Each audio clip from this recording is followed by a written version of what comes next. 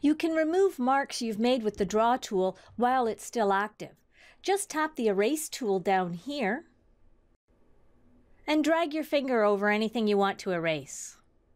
Double tapping the eraser lets you choose a different thickness for your eraser, which is quite handy if you're working on something small or if you want to remove larger marks.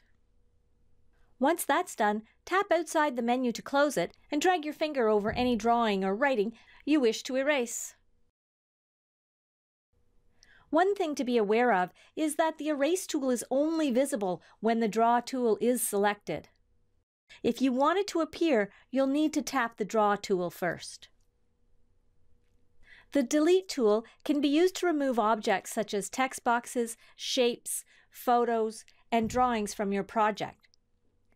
To delete an item, when the Draw tool is not selected, tap the X on the large toolbar, and then the item that you would like to delete. A red X appears in the corner of that object, just tap that red X to delete the item. If you accidentally delete an object, it's time to use that undo button. It's the little curvy arrow over here. It will reverse the last action you performed.